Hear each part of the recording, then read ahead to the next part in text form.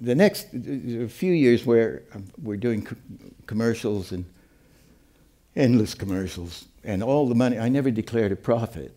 Um, we just took the profits and put back into the training and the picture, and I was running a permanent staff, and it was getting bigger and bigger. And along came the rabbit uh, job, and it was offered, and they seconded my studio, and I knew that the studio would disappear into the arms of Disney and Spielberg, who were in this loose marriage to make the Ra- Roger Rabbit. That was easy. I, I said to Bob Zemeckis, I said, because Bob wanted to shoot a, a, a, modern movie, and, and he said all these animation directors we've talked to, um, just uh, they they want a locked off camera, like the Mary Poppins, you know, Dick Van Dyke's dancing, the camera's steady. And he said, I want we do modern movies these days. And I said, well, sure. We just draw the rabbit. And he said, what do you mean?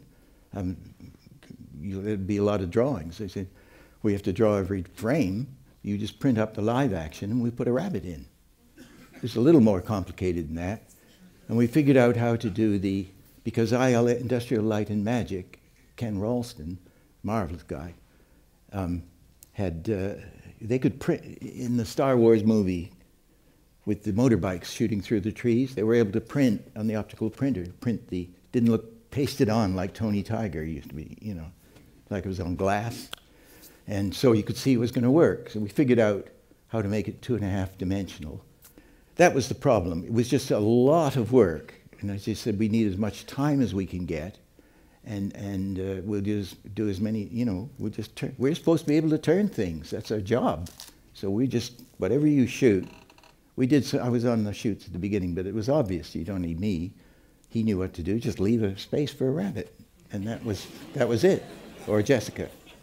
So that, that was, I used to stand at my door every now and then and yell, draw faster.